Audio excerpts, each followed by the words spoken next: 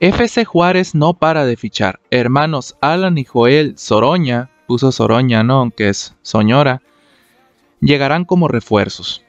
Esto es lo que ha afirmado César Luis Merlo en la columna para am.com, en donde afirma que los Bravos acordaron la llegada de Alan y Joel Soñora, aunque ahí César Merlo le pone Soroña. bueno, confusiones, ¿no? Eh, ambos son mediocampistas argentinos naturalizados estadounidenses, o al menos esto es lo que se es lo que se menciona, pero es lo de menos, no son extranjeros, a final de cuentas. Eh, el periodista afirma que ambos jugadores llegarán mañana martes a México para comenzar con los exámenes médicos, firmar y ser anunciados oficialmente. Fuentes cercanas a la operación afirman que ambos jugadores firmarán hasta diciembre de este año con opción a compra y que en caso de hacerse efectiva la opción de compra se prolongará su contrato hasta diciembre de 2023. Eh, Alan Soñora, según Transfermarkt, tiene 24 años. Eh, no llegó a un acuerdo con Independiente de Avellaneda para renovar y por eso está sin equipo. Su posición habitual es la de mediocentro con capacidad para ser mediocentro ofensivo eh, en el fútbol argentino, contando todas las competiciones, ha jugado 5.104 minutos con 11 goles y 7 asistencias repartidas en 87 partidos. Por su parte, Joel Soñora también se encuentra sin equipo, él tiene 26 años y a diferencia de su hermano, él decidió rescindir voluntariamente su contrato con el Marítimo de la Primera División de Portugal.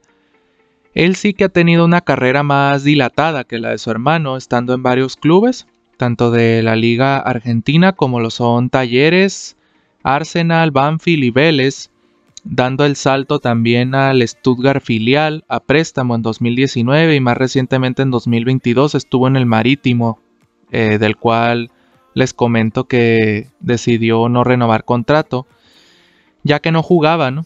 Apenas disputó 6 partidos y 254 minutos el año pasado. Eh, en su carrera, jugando la mayor parte del tiempo como mediocentro ofensivo y también como extremo por ambos costados o incluso de mediocentro, ha jugado 8.869 minutos con 18 goles y 15 asistencias en 176 partidos, ¿no? Ambos jugadores juegan en posiciones similares, mediocentro, mediocentro ofensivo, Sí que a primera vista parece más polivalente a nivel general Joel, eh, aunque claro, al ser mayor y haber tenido tantas experiencias en diversos clubes, ha ido probándose en distintas posiciones, ¿no? A diferencia de su hermano Alan. Em, y me parece curioso esto, ¿no? Esto que se menciona en el, en el artículo de César Luis Merlo, que al ver que, que el hermano Soñora, que estaba en, Independiente, al ver que no iba a ser renovado, el otro hermano, el de Marítimo, eh, rescindió su contrato para que ambos tuvieran la carta de libertad, ¿no? Y ambos pudieran elegir un proyecto. A mí me parece esto curioso, ¿no? Que, que justamente ambos hermanos vayan a venir, ¿no? Como en un pack. Y en ambas, y ambos con las mismas circunstancias contractuales, ¿no? O sea, sin equipo y con un préstamo por el mismo tiempo. Ambos han jugado con la selección de Estados Unidos, Joel en la sub-17 y sub-20, mientras que Alan en la mayor, un partido, ¿no?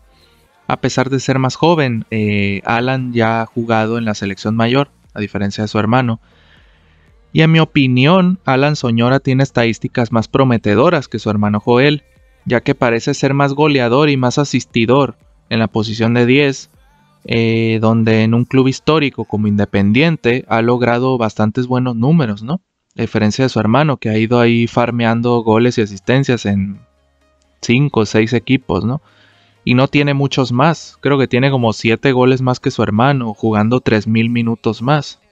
Entonces, me parece a priori más prometedor Alan Soñora. Eh, de acuerdo con César Luis Merlo, pues sucedió esto, ¿no? Alan no renovó con Independiente, Joel rescindió su contrato con Marítimo. Y en base a esto, mi pregunta es, así como quieren llegar ambos al mismo tiempo, ¿tendrán pensado quedarse los dos o irse ambos cuando Bravos tenga que decidir si ficharlos definitivamente o no? O sea, ¿qué pasa si, por ejemplo, uno de los dos convence y el otro no? ¿Qué pasa si uno juega y el otro no y Bravos quiere firmar a uno de ellos? Eh, no aceptará porque a su hermano no lo van a firmar. O sea, eso me habla a mí de que, de que esos jugadores están haciendo todo lo posible por jugar juntos, ¿no? Y si Bravos decide quedarse con uno, el otro, ¿qué dirá? Pero bueno, esos son dilemas, ¿no? Que se me vienen a mí a la mente que pueden llegar a pasar en un futuro, pero es cierto que en el corto plazo para este torneo, para este 2023, eh, bueno, para estos dos torneos, ¿no? Porque se quedan hasta diciembre. Para estos dos torneos, en el corto plazo, mientras no tenemos a Manuel Castro, que jugaba en una posición ahí similar, como extremo derecho, como, como 10, también tenía capacidad para jugar. Em, son refuerzos que evidentemente suman. Habrá que verlos en la cancha, evidentemente también. Desde luego es oportuno que vengan ahora con tantas salidas y lesiones en la delantera recordando que se nos fue Machís, que se lesionó Medina, que se nos fue Lescano, que se nos lastimó Ormeño, aunque todavía no han dicho cuánto tiempo va a estar de baja, si es que está lesionado de, de algo que lo vaya a tener retirado unos cuantos juegos, la verdad que no lo sabemos. Pero evidentemente ante tantas lesiones es positivo en el corto plazo que, que vengan futbolistas, ¿no? Que aparentemente tienen buenas cualidades y que le pueden dar buenas cosas al equipo, ¿no?